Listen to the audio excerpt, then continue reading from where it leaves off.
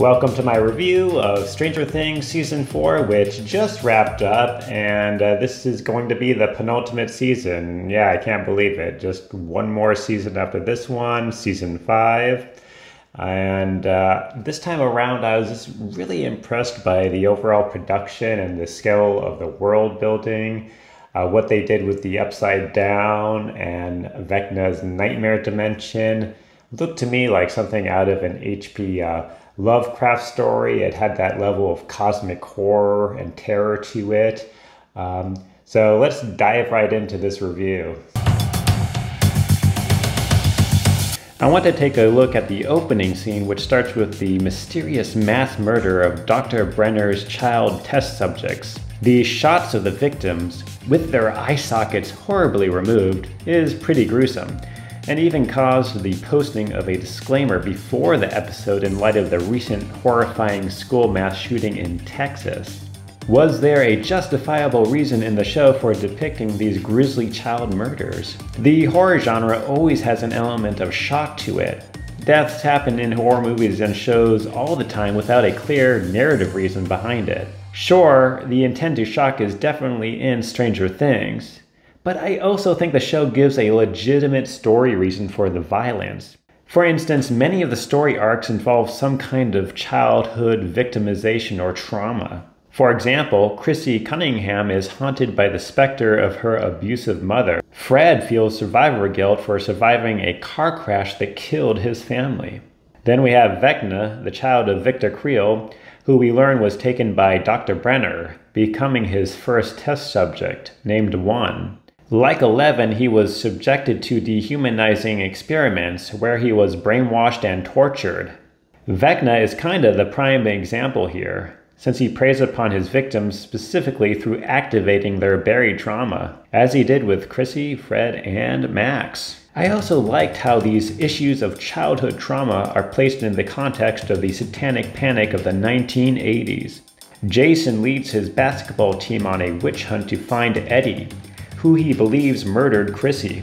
Eddie runs the aptly named Hellfire Club, a geek squad devoted to the role playing game Dungeons and Dragons. In the 1980s, Dungeons and Dragons was viewed as a satanic cult. So I like how these historical details are worked into the story arc. It adds some historical depth while also tying in with the theme of child victimization, which was one of the primary concerns during the Satanic Panic. Just like Eddie, many innocent people in the 80s were wrongly accused and even convicted through witch hunts fueled by religious fanaticism and extremism. I thought this was a nice subplot, which shows how we hurt ourselves through the demons we project through our own fear and hate. Chapter 4 in this season was one of my favorite episodes, when Vecna possesses and curses Max. She finds herself at Vecna's altar within the Upside Down, when Vecna proudly shows Max his macabre collection of trophies, where he has his victims on display, composed of corpses hideously coiled in his root like tentacles, he appears like an artist showing her his work. I'm pretty sure the Duffer Brothers had the horror icon Pinhead in mind for this scene. Pinhead is one of the kings of body horror, this scene is all the more disturbing since it implies that Vecna keeps his victims on display for no other reason than for his own pleasure. I also enjoyed Joyce and Murray's side adventure to save Hopper, who was captured and detained in a Soviet prison camp. I also love the Russian contact Yuri. He's the guy who takes the uh, ransom payment from uh, Joyce and Murray in exchange for Hopper's release. And I just found him utterly hilarious, and he's kind of for me like the American stereotype of the sketchy, grotesque, decadent European. He just has no loyalty to anyone. Like, just whoever pays him the most money, he'll do anything, no matter how horrible it is. Uh, he serves no lofty purpose, and so it, it's kind of fun when you get a character like that. And he's also one of the characters in the show that actually has a sense of humor and is laughing a lot. And it's kind of funny how you know, the character who has absolutely zero morality uh, is the one who has the most sense of humor. Although they do try to reform or redeem him at the end, uh, which I totally didn't buy and didn't make sense to me, but I can understand why the uh, writers wanted to just have him keep doing more things and keep him around since he was such a fun character. Eleven spends a lot of her time in this season in an underground research facility run by Dr. Brenner. When she is put in an isolation tank to reactivate her powers, I found the flow of the narrative a little encumbered by heavy exposition. Here we get most of Vecna's backstory. He's a character that takes multiple identities to a new level. Before becoming Vecna, he was formerly Henry Creel, child of Victor Creel. When Dr. Brenner, creepily named Papa, took him in, he became one, the first and original test subject. He was later renamed Peter Ballard before being transformed by the Upside Down into Vecna. Shit, that's four different names and identities. Maybe it's just me, but the isolation tank, called the Nina Project, had heavy shades of the anime Akira. In Akira, the cryogenic containment unit storing Akira's frozen remains looks very similar to the isolation tank of the Nina Project. Plot-wise too, both Akira and Stranger Things share similarities. In Akira, the military unit designed to activate psychic abilities in children, called the Project, is similar to Dr. Brenner and his experiments on psychic children. I was also reminded of David Cronenberg's 1981 film Scanners. Scanners are humans with psychokinetic abilities. Revok, a rogue scanner, is similar to Vecna. Revok hopes to join forces with Cameron Vale, where they would lead a new generation of scanners to conquer the world. Just as Vecna tries to coax Eleven to help him fulfill his murderous plans of world domination. This season definitely feels more cinematic than previous seasons. Um, that's partly due to the length of the episodes, uh, which are movie length. They run anywhere from 90 minutes to two hours. But I appreciated how they go much bigger in this show, uh, much more epic in scale, but they still take time to have those little moments between the characters. And um, throughout this season, I've been waiting for several character reunions to happen, as I'm sure all of you have been waiting for as well. And in the finale, we do get those reunions, and they're very delicately handled, I thought, very well done. And um, like one of the ones that stuck out for me was um, the scene between Will and Jonathan, um, a scene where they're just pouring out their hearts, uh, sharing their brotherly affection for each other. Uh, in, in a scene that could have been, come off as, you know, really maudlin and cringy and overly sentimental, but the two act- actors just do a fine job just selling it. And because they could be going to their deaths. Uh, this could be it for them. So uh, say what you got to say now. Um, and then in that spirit, uh, I also liked uh, the scene between uh, Joyce and Hopper when they're un- undressing and then.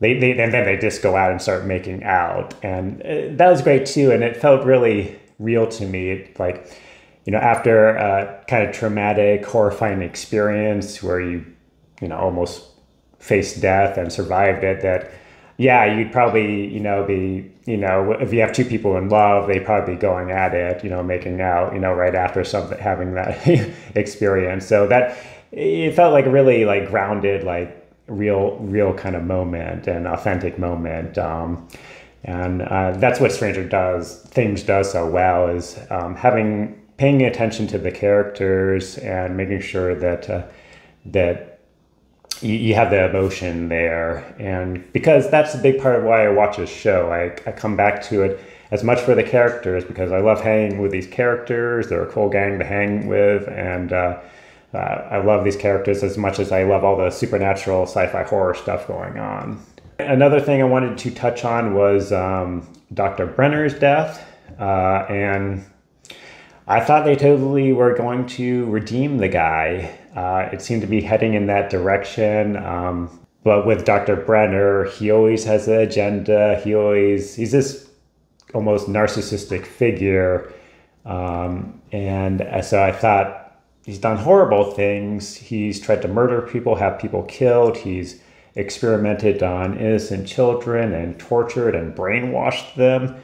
Um, just done really sick, sick things, and so to redeem him at the end just didn't seem um, true to me, and and so and they don't end up actually redeeming his character. Um, he uh, he asks uh, Eleven basically to understand him, to forgive him for what he's done, and she doesn't give it to him. And I thought that was a really good choice on the part of the writers. I also want to touch on the big reveal in this season regarding Vecna's character. Uh, and I had always thought he was a puppet of the Mind Flayer. Well, it turns out it's the other way around. We find that uh, Vecna actually created the Mind Flayer, or almost willed or conjured the Mind Flayer into existence um, as this almost like um, ultimate vision he has of what he wants to become.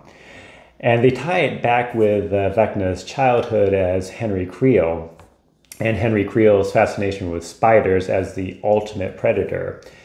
And so uh, Vecna creates a spider like entity, the Mind Flayer, um, as uh, the ultimate predator because he views himself as the ultimate predator and he thinks the only way to get there um, to evolve and, and uh, become, you know, the dominant species, as it were, is to become superhuman, to become transhuman, to become completely other.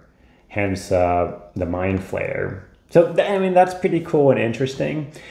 Uh, I would say um, that there's some consistency issues with me with that with uh, prior seasons that um, there wasn't quite enough setup um, just with uh, Vecna or or um, Henry Creel. Not enough like set up with his character. You'd think that Dr. Brenner would have alluded to him or to some entity in the Upside Down he would he was searching for. Um, so it felt to me a little tacked on in this season. Um, and uh, another part of that um, piece of that is that the mind flayer for me, part of the interest and fascination of the figure of the mind flayer is that he's this, or sorry, he, it's this collective entity. It like absorbs you into itself, just as it did, um, you know, take over Billy or several, you know, a number of the inhabitants of Hawkins and